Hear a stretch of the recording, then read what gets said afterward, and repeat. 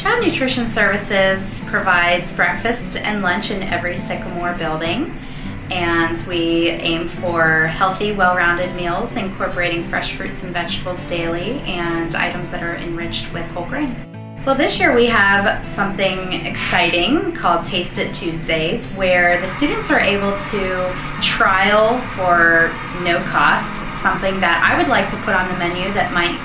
go um, on the menu or it might be something that will sell a la carte or maybe it's a new breakfast item or something that my sales reps would like me to try and so they're able to try the food ahead of time and they just circle yes or no and depending on the answers I use it or I do not.